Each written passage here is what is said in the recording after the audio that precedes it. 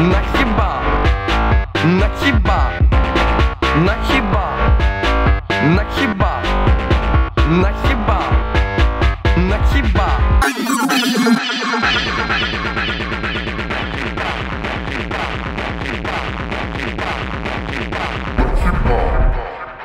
Мене звати Альона Мамай.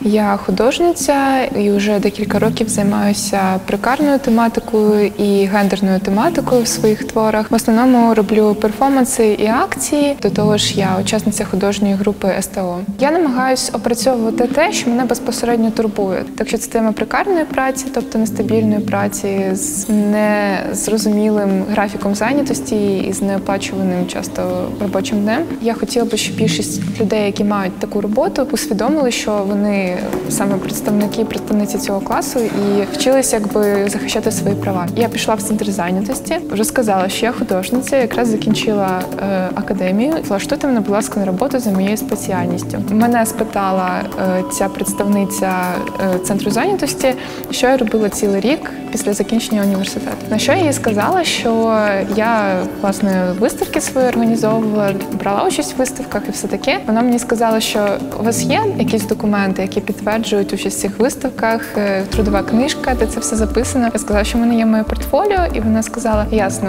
значить, ви нічим не займалися. Ви безробітна. Таким чином народилася ідея проекту, який би якось досліджував цей період життя, який вона назвала безробітним. Я вирішила назвати проект Прірва, тому що власне це вирваний час із мого власного життя, по ідеї для інших людей, і час, коли не ясно насправді для більшості людей, що мене оточують, чим я займаюся. І протягом цього часу я записую все, що відбувається зі мною в центрі зайнятості. Там, наприклад, проходять семінари, де мене навчають там правильно подавати себе на роботу роботі, як я ходжу там на якісь певні роботи, влаштовуватися, все, все, все. І все це я врешті, як такий один великий твір процесуальний, виставлю на виставці, яка відбудеться в кінці літа, коли вже власне мене візьмуть на роботу.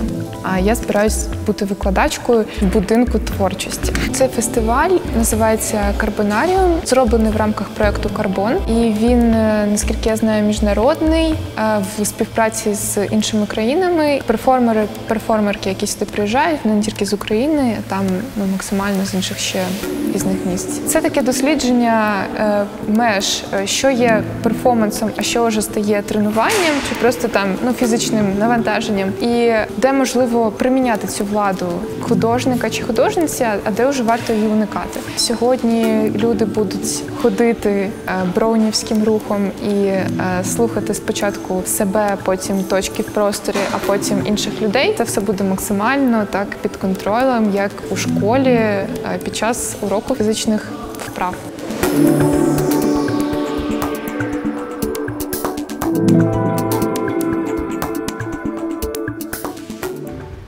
Я починаю рахувати. Ця точка, яка болить, вона іще й пульсує.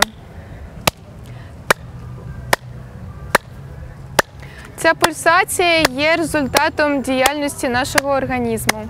Зосередься на цій пульсації. Все, що я роблю тут, воно направлено насправді на те, щоб люди типа, сказали ні, ні, ні, ні, ні, стоп, давайте якось інакше. Або принаймні висловили, що їм не подобається. Думай про звук.